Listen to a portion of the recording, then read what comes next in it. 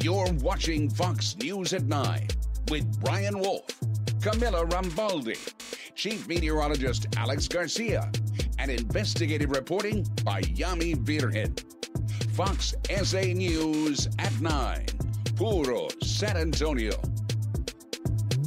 brand new but faulty. And that's how a San Antonio senior citizen describes the window AC unit she bought from Conn's Home Plus. She's not happy. She had it for just a few days when she says she first experienced problems, so she thought it would be easy to get it replaced. After getting nowhere with Conn's, she reached out to Fox SA's problem solver Darian Trotter for help.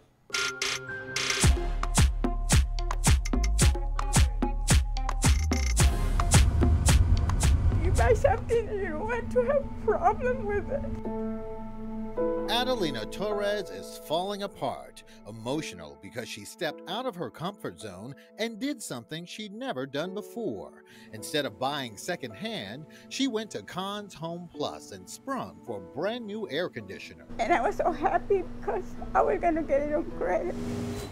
But she says it did not work properly the same day she got it home. I got it in August. Way too hot. We're looking at more advisories coming up for tomorrow, excessive heat warning. This summer's triple digit temperatures no doubt made life miserable for a lot of Fox SA viewers.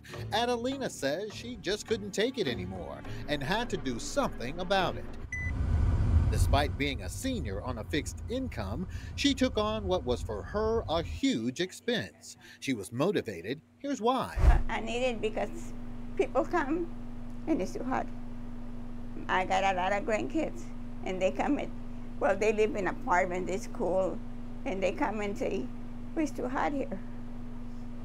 So I said, I'm going to get the air conditioned. Thinking of her grandkids, she went to Conn's Home Plus to take advantage of the lease to own promotion she received in the mail.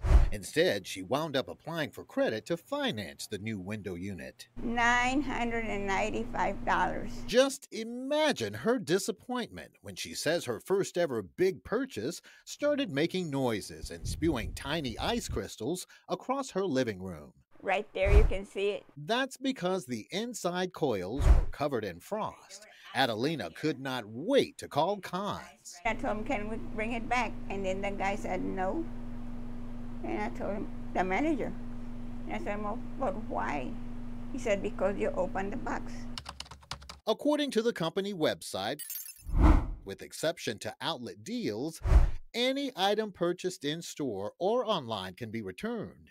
It goes on to say if you're not fully satisfied, customers can make a return or an exchange within seven days of purchase. And I tried not to get nobody in trouble. Adelina says she called the store within that time frame. And I said, this, this air conditioner doesn't work. She says she wasn't even offered the company's 15% restocking fee for opened and or returned items, and that makes her sad. He does because it's not fair. Instead, Conn's scheduled a technician who determined the brand new AC unit needed three major components the compressor, which is the heart of the unit, the evaporator coil, used to absorb heat, and the capillary tube used to control the flow of refrigerant. All needed to be replaced. What do you think they should have done?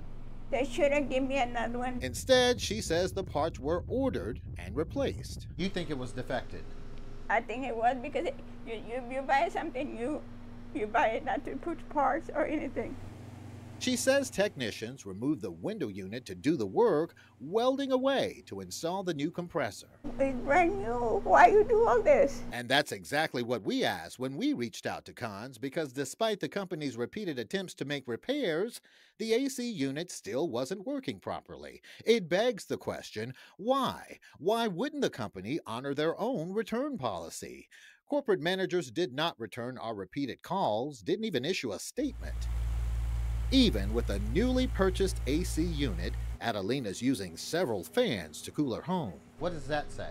It's not good. We checked with the Better Business Bureau and found Conn's has 1,600 complaints within the past three years. Adelina's complaint is one of them. They include problems with products and services, guarantee warranty issues, and problems with billing collection. Us old people, where do we go to, for help. Because we got nowhere with Conn's, Adelina began to lose hope.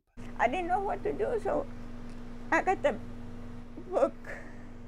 I don't know how to read or, or write, but I got the book and I started looking at it, looking at it, and I said, maybe there's some answers here, maybe. But all was not lost. Because the manufacturer's warranty had not expired, we suggested Adelina reach out to General Electric Appliances. So I called the company and told them about it.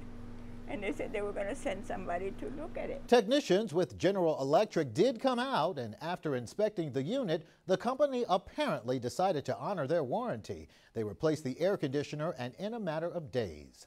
I'm Fox SA's investigative problem solver, Darian Trotter. I'm glad to hear somebody's honoring their warranty. Our problem solver is here to help. Get in touch with Darian. That's the guy you need to call. So write that number down, put it in your cell phone, store it away. 210 476 1099 or email problemsolver at foxsanantonio.com.